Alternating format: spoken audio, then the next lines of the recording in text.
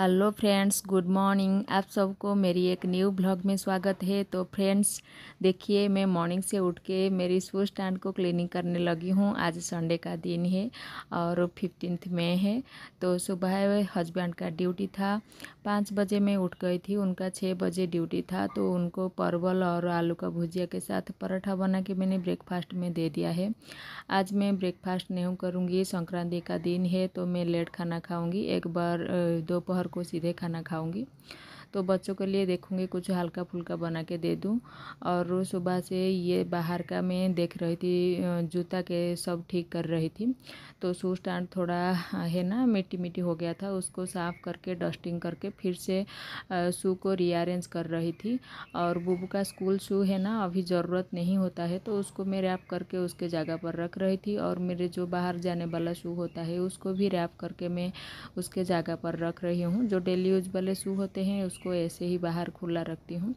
तो ऐसे ही मैं करती हूँ और ये देखो लेन है ना, पूरा शू में ही भरा हुआ है, क्योंकि ऐसे लेन में, एक ही लेन में हम आठ फैमिलियाँ रहते हैं।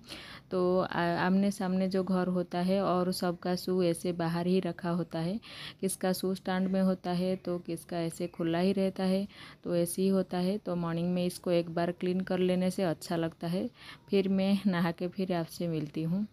हेलो फ्रेंड्स गुड मॉर्निंग तो आज संक्रांति का दिन है और ना मॉर्निंग में हस्बैंड गए थे ड्यूटी तो मैंने उनके लिए ब्रेकफास्ट बना के दे दिया था और घर में मैंने तो आज ब्रेकफास्ट किया नहीं।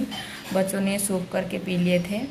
अब मैं जा रही हूँ लंच बनाने के लिए। बड़ा वाला लड़का को म्यूज़िक क्लास में लेके छोड़ के आई हूँ और छोटा वाला लड़का अभी रूम में है।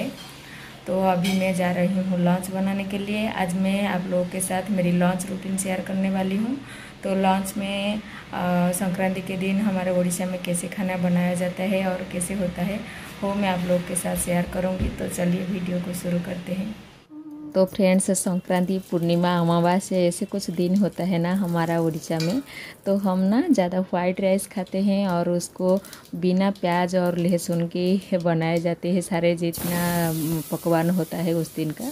और सिंपल सी खाना होती है, ज़्यादा झंझट वाली नहीं होती है। तो इधर मैं बना रही हूँ जीरा राइस और देखिए, घी डाल के जीरा डाला था उसमें और पानी डाल दिया है, मुझे जितना ज़रूरत है। मैं उसमें वाइट राइस ऐड करूँगी, हल्दी भी डाल दिया है।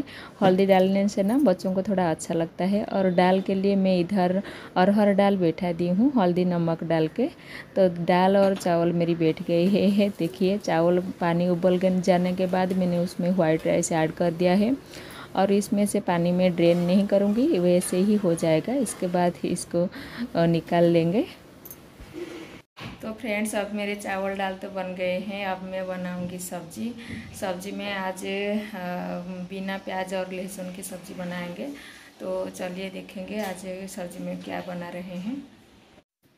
आज एक मिक्स वेज बनाने वाली हूँ। ये ड्रम स्टिक आलू, बैंगन और कद्दू सबको मैंने काट के बना रही हूँ सब्ज़ी। साथ में उड़द दाल की पापड़ मैंने डाल दिया था। हल्दी और नमक डाल के इसको मैं अभी थोड़ी सी फ्राई कर लूँगी। साथ में डालूँगी मस्टर्ड पेस्ट मस्टर्ड के साथ लहसुन इस बार मैं ऐड नहीं करूँगी।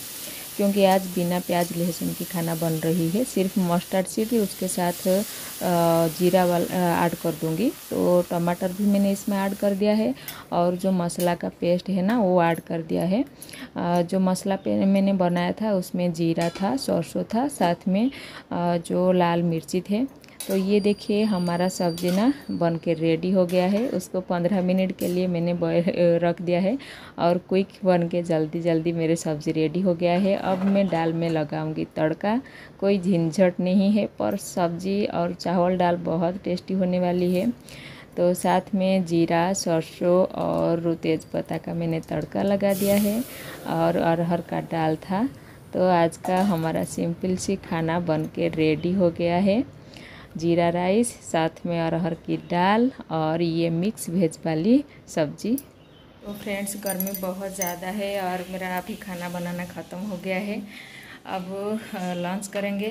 तो तो सारे खाना को मैं बाहर ले आई हूँ और बच्चों के लिए अभी मैं खाना लगा दूँगी। तो देखिए प्लेट्स सब मैंने लगा दी हूँ और सबके लिए आसन भी लगा दी हूँ। तो हमारा खाना भी लग गया है। बच्चों को ना खाना बहुत पसंद आ रहा है। ख़ास करके चावल है ना, वो बहुत अच्छा लग रहा है। तो ये चावल में मैंने जीरा और घी, साथ में थोड़ी सी नमक ऐड कर दिया था तो बच्चों को बहुत टेस्टी लग रहा है। बिना प्याज, लहसुन की खाना है, ज़्यादा मसाला नहीं है, पर बच्चों को ना बहुत पसंद आया खाना। है तो फ्रेंड्स अभी हम छत के ऊपर आए हैं और अच्छा हवा चल रहा है। कृष्णा, बुबू दोनों मेरे साथ है अभी खेल रहे हैं। हम पकड़म पकड़ाई। ये हमको बहुत मज़ा आता है। ओ भागोगे, ऐसे भागोगे, मामा पकड़ेगी आपको अभी। रुको रुको रुको। मामा ने पकड़ लिया। कृष्णा को मामा ने पकड़ लिया। तो हम अभी थोड़ी टाइम छत के ऊपर ऐसे खेलेंगे, मस्ती करेंगे। इसके बाद हमारा कपड़ा सूख रहा है, इसको लेके जाएँगे नीचे। भागो भागो भागो। आप भागो, मैं पकड़ूँगा। पकड़ो पकड़ो पकड़ो पकड़ो पकड़ो पकड़ो पकड़ो। कृष्णा को पकड़ो पकड़ो पकड़ो। कहाँ भाग रहा है? कहाँ भाग रहा है? कहाँ भाग भाया को पकड़ो। भाया को पकड़ो। भाई तो एक जगह पर खड़े है ऐसे जाके ऐसे जाके ऐसे जाके ऐसे पकड़ लेना है बस हो गया। तुमको भी पकड़। लिया जाओ दोनों आउट अकड़ बकड़ बम्बे। मौसम कितना अच्छा लग रहा है। वाह बादल सब कैसे जा रहे हैं। ऐसे है ना मुझे देखने के लिए बहुत अच्छा लगता है। वाह बहुत अच्छा सीनरी है। बादल ऐसे अपने आप ऐसे जा रहे हैं हवा में धीरे धीरे।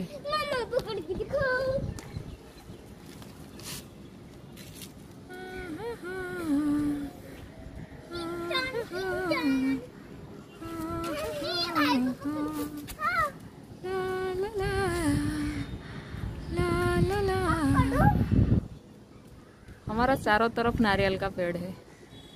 सुंदर लगता है देखने के लिए। पकड़ के दिखाऊँ। बार कितने भाई को पकड़ा। भाई को क्यों पकड़ो? आपको तो पकड़ लिया। अब भाई के बारी तो अभी चलो नीचे चलते हैं कपड़े उठा के। फिर रात का काम शुरू हो जाएगा। तीनों हमने कपड़े उठा लिए हैं अब घर जा रहे हैं। कृष्णा आ जाओ। शाम के टाइम थोड़े छत के ऊपर बच्चों के साथ खेलने से मुझे भी अच्छा लगता है और बच्चों को भी अच्छा लगता है। तो ऊपर से आने के बाद मैं इधर शाम की अगरबत्ती कर रही हूँ और अगरबत्ती करने के बाद मैं लग जाऊँगी मेरे डिनर की टाइम में डिनर बनाने के लिए।